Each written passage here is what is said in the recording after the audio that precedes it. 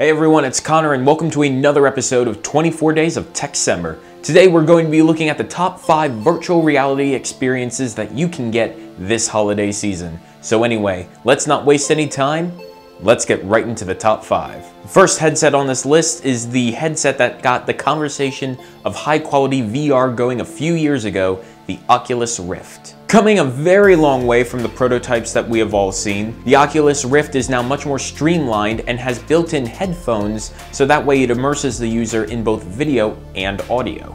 And like the HTC Vive, there are now touch controllers that allow you to simulate picking things up and having much more natural motion in VR. Most of the games that you'll be able to find that actually take advantage of the Oculus VR will be found through Oculus Home. And the one thing you will definitely need to make sure you have before you end up investing in the Oculus Rift is make sure you have a computer that can handle the extreme graphics requirements of VR. Unfortunately, at this point, it's only Windows PCs. Luckily, Amazon is promoting a few PC bundles that you can get with the Oculus Rift, so that way you will be able to live out your VR dreams with all of the performance that you will need.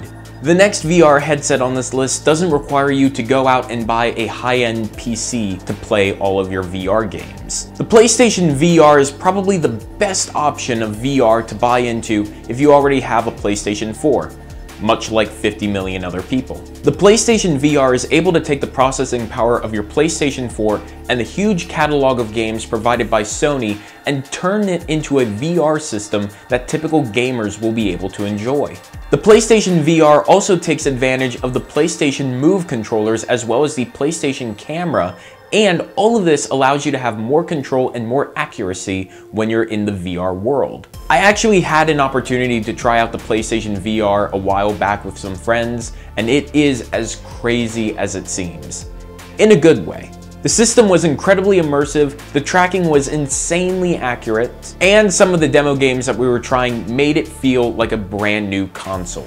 The headset alone will cost you $399, whereas the starter bundle, which includes the motion controllers as well as the camera, will run you $499. The Samsung Gear VR would be perfect if you are already invested in the Samsung universe of gadgets and you are looking to invest in some more Samsung gear for $99. Funny enough, Oculus actually paired with Samsung to bring this device to the market. However, unlike the Oculus Rift, you don't need a $2,000 computer to run the VR, and you don't even need a PlayStation 4. If you have a Samsung Galaxy Note 5 or later, then you will be able to take advantage of the many VR apps that Samsung provides, or you can just watch Netflix and Hulu in a virtual theater. And since this VR is based around your phone, it's portable. So you can basically bring it anywhere from an airplane to traveling on a train to any other kind of situation where it wouldn't be totally weird for you to jump into VR. Just try to avoid using this VR when you're driving. Nobody wants that. The HTC Vive is next on this list, coming in at $800. Now it is pretty similar to the Oculus Rift in that it is requiring you to be tethered to a high-end computer with outstanding graphics performance, but it's also very different for a few hardware and software features.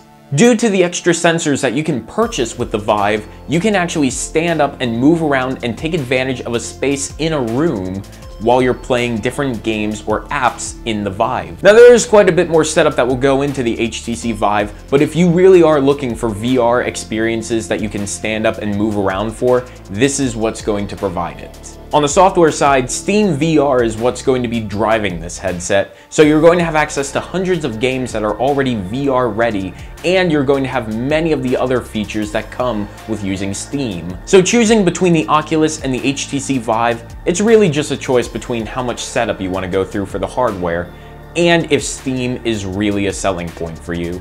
Last on this list is another mobile VR headset, much like the Samsung Gear VR. But now instead of being exclusively for Samsung, we are moving into Google territory with the Google Daydream View. For $79, it's the cheapest headset on this list, and in my opinion, It's one of the nicest looking ones on this list as well. For those of you who are familiar with Google Cardboard, this was basically the next step Google was taking to refine their VR experiences that they would launch alongside their Pixel phone. The Pixel phone also happens to be one of the only phones on the market that will actually work with this headset right now, as well as the Moto Z series of phones. There is a controller that comes with it, so that way you can have much more natural interactions with the VR experience that Google provides by using motion and different clicks. And because this is all based on Google software, there is a crazy number of apps that will take advantage of the VR experience while you're using Google Daydream. Google certainly has come a long way since the days of cardboard. So anyway guys, those are my top 5 VR experiences that you can get this holiday season.